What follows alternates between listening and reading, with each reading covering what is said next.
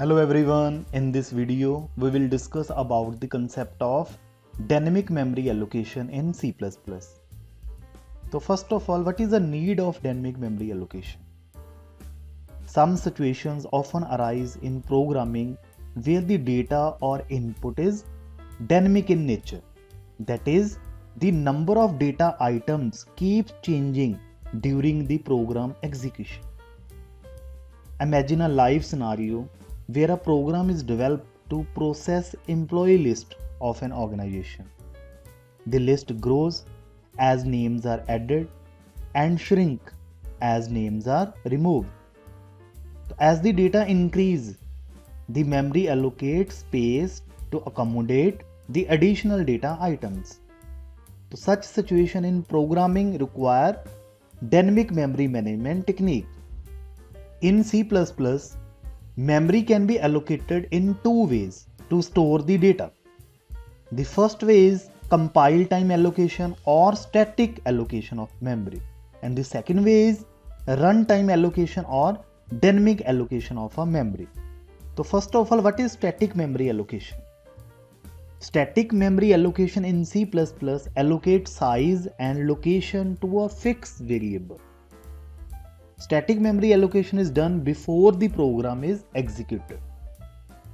In other words, we can say memory is allocated during compile time. In this case, the size and the location of a variable are fixed throughout the program. Let's see the code for static memory allocation.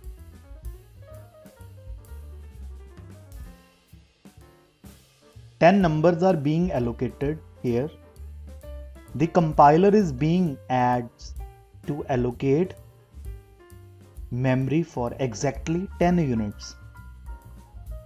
The exact number of unit is known as 10 at the compile time. So such allocation is known as static memory allocation. The allocation is static allocation if number of unit is exactly known at compile time in this type of allocation you can allocate memory for your data at compile time. Char c. Similarly for float float d. Double x. In this example memory is allocated to all the variables at compile time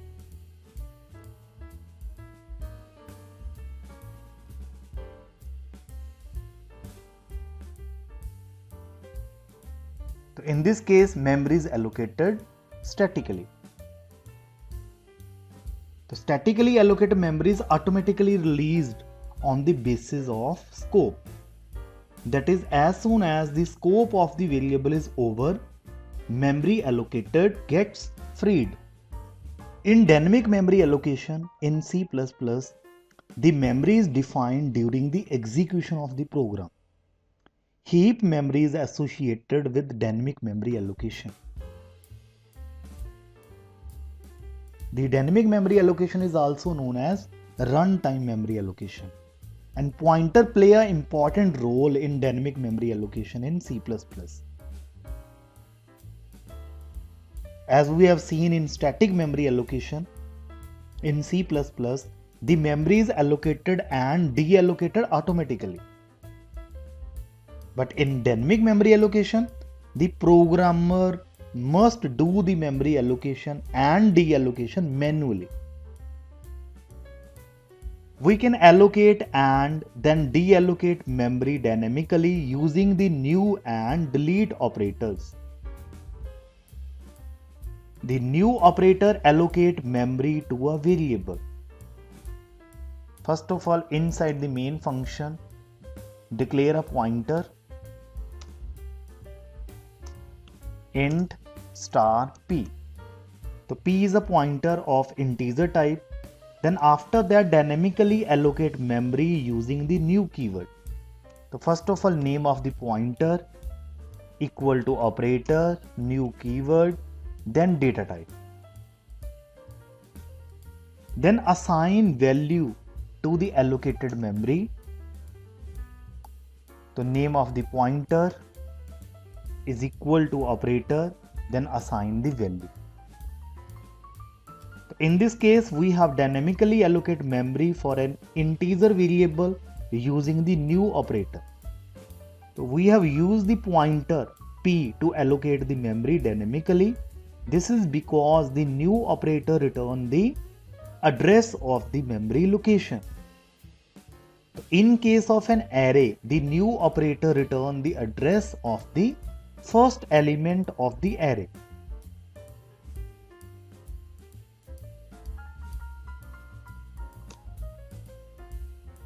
For array, specify the size of the array. In this case, 10 block of memory is allocated. Once we no longer need to use a variable that we have declared dynamically, we can deallocate the memory occupied by the variable. For this, the delete operator is used. It returns the memory to the operating system. This is also known as memory deallocation. So with the delete keyword, we can deallocate the memory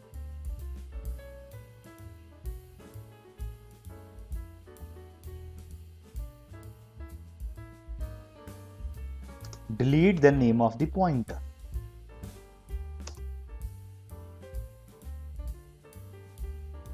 For array, delete array the name of the pointer.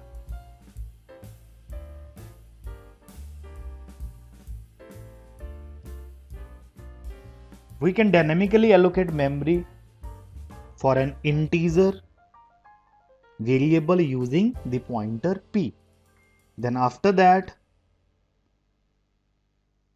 deallocating the memory using delete keyword. Let's see the program to understand the concept in better way. First of all, inside the main function, declare a pointer p. p is a pointer which is of integer type.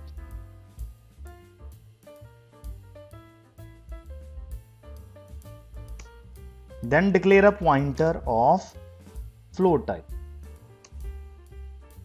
Two pointers are there. The first pointer is of integer type and second pointer is of float type.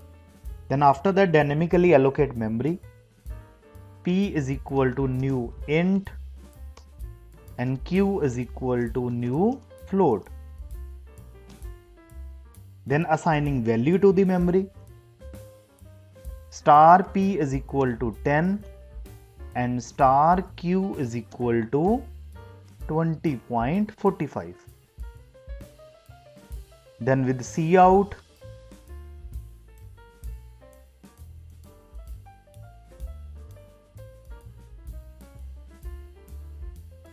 print the values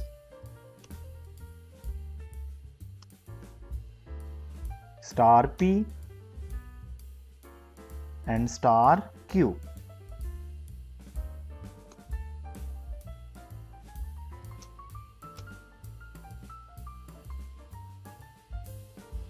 In this example, we dynamically allocate memory to two variables of int and float type. After assigning value to them and printing them, we finally deallocate the memory using the delete operator. Delete the name of the pointer which is of integer type. Then delete name of the pointer which is of float type. Now run this code.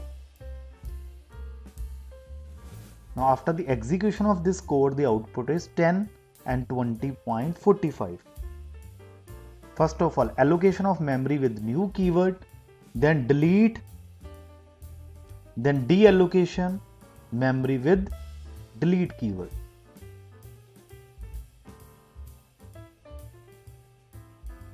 Next example, how to use new and delete operator for array.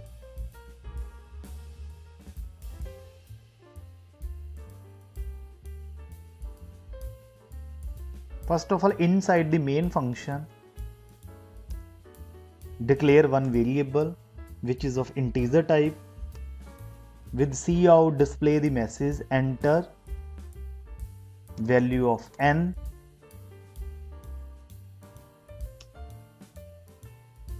With cin input the value of n. Then declare a pointer which is of float type then after declaring pointer memory allocation of n number of floating type value.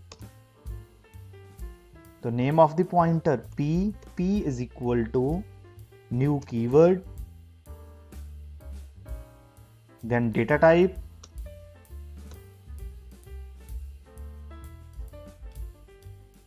then n is a number of float type values.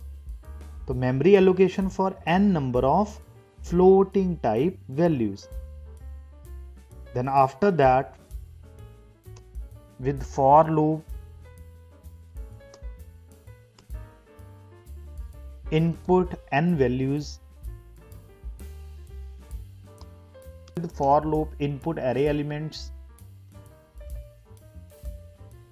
Then with second for loop displaying array elements. Then finally deallocate memory with the help of delete keyword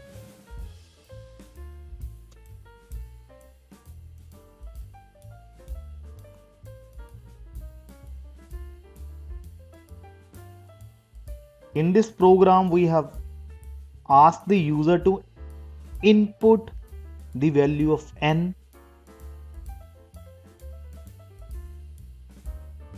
Then we have allocated the memory dynamically for the float array using new keyword. Then after that enter the data into an array using pointer. Then displaying the data using pointer and after we no longer need the array we deallocate the array memory using the delete operator.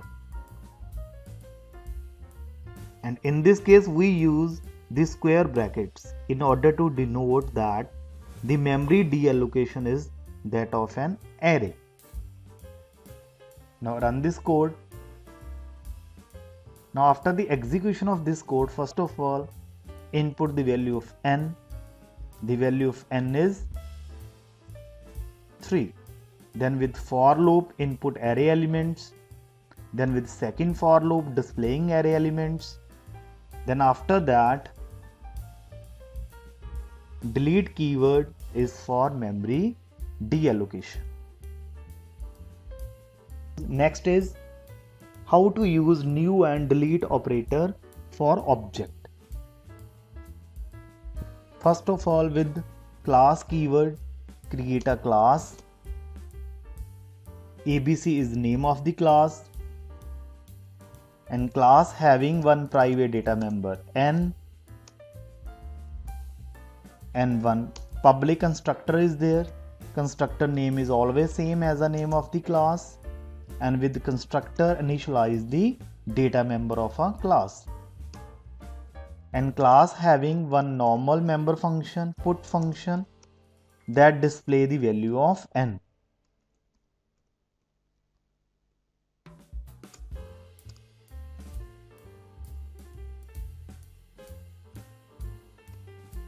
and class body end with the closing curly braces. Inside the main function dynamically declare ABC object.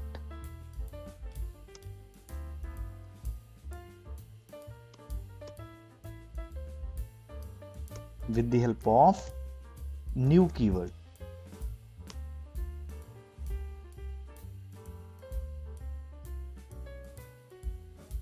when the object of class is created constructor called automatically there is no need to call constructor. Constructor function called automatically. The object to pointer is there. Then use arrow operator to access the normal member function of the class. Name of the pointer then arrow operator then name of the member function. Now run this code after the execution of this code the output is n equal to 10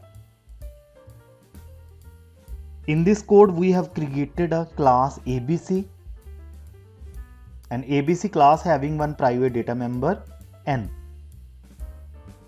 And we have initialized the value of n to 10 in the default constructor abc and then print the value of n with the normal member function that is put. And inside the main function we have created a abc object using the new operator and use the pointer p to point to its address. And the moment the object is created the constructor called automatically and then initialize n to 10 then after that we call the put function.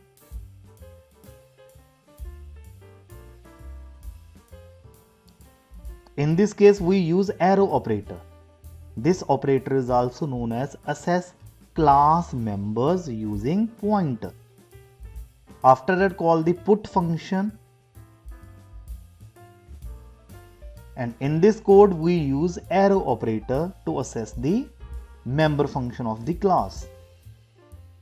The arrow operator used to access class member using pointer. This is all about the dynamic memory allocation in C++.